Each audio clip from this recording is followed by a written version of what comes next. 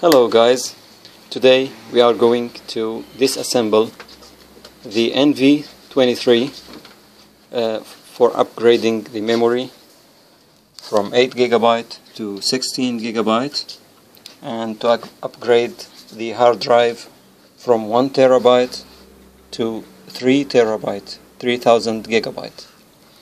Let's go on we will start by removing the small back cover.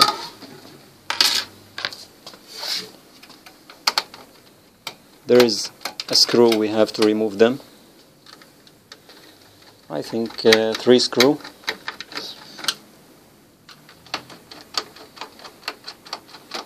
This model I think it's a little bit easy more than the other model the Rove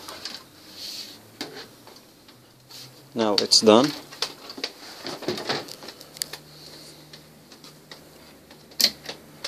We are gonna remove the hard disk drive. It's 3.5 millimeter.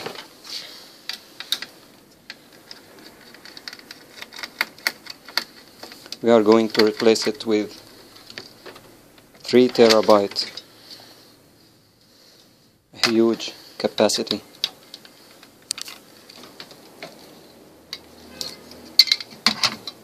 we replaced the old model which is 1 terabyte with the new model 3 te- terabyte. Slide connect screw and everything is done. That is. And now we are going to upgrade the memory. This is the cover of the memory.